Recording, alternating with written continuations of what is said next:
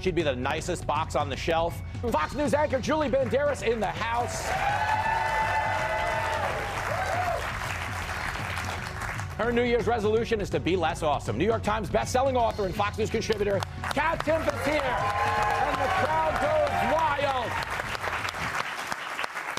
All right, so Julie, we covered a lot there. When you look back on 2023, if someone gave this to you as a gift, would you keep it or would you regift it? I would regift it, but like to an enemy. You know, like you don't give 2023 to anyone you have any respect for. I'd probably, I'd give it to my ex-husband. 2020 I, I just want to address that. He's calling Nikki Haley actually uh, out of uh, her, her prime. He's past his prime. I just wanted to put that on the record. I'm glad That's we all. got that out of the way. Yeah, oh, I you're feel like it needed to be. they were offended by was you saying I was a bad writer.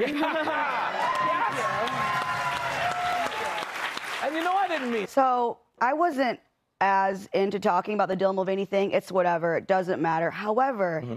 I think it's interesting that they chose, if they wanted to have a trans person for their ad, they chose, you know, a, a male to female trans person and not the other way around. And yep. What's shocking to me is when people think businesses care about you. Oh yeah, they don't care at all. They're all Didn't didn't Disney kind of learn that message? Like, is this is It's great. It actually applies to my regular life. Like anytime I meet somebody in person, it's guilty until proven innocent.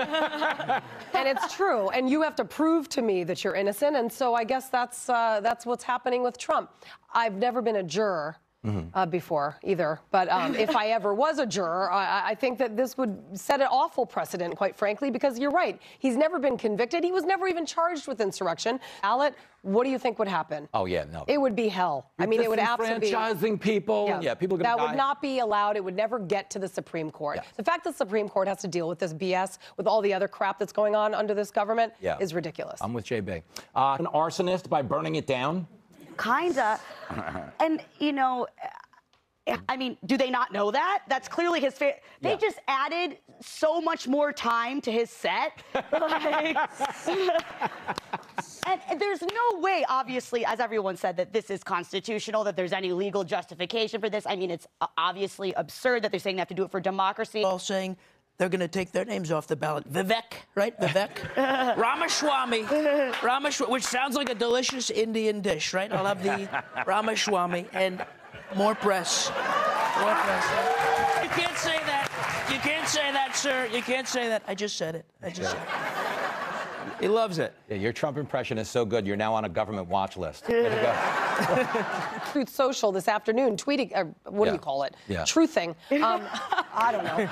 but anyway, he loved it. I mean, I, Yeah. I do follow him, and he absolutely loves it. And you know, the more that people start to come down on MAGA and mm. Trump, the more popular he gets.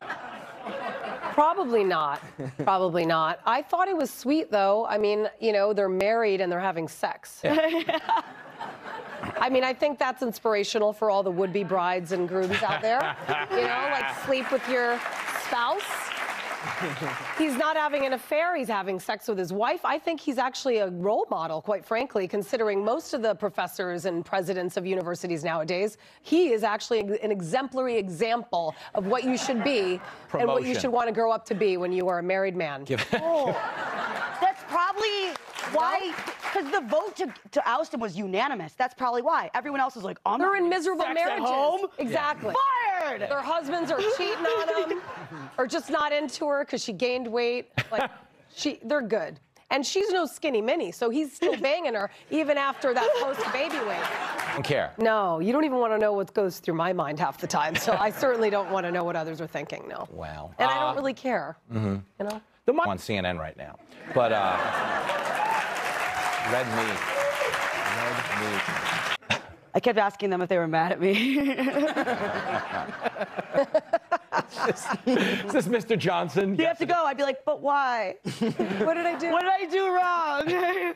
it became more about me than anything. If you're going to talk to me in the morning, Kahlua or Bailey's in the coffee might get me to actually acknowledge you, but this is worse than like kissing in the morning before you brush your teeth. It's disgusting. and I can't stand mornings. I can't actually stand when people say good morning. Yeah. People that know me just say not morning in the morning. and I don't like when people look at me or talk to me in the morning, so certainly coffee talk is not going to work for me.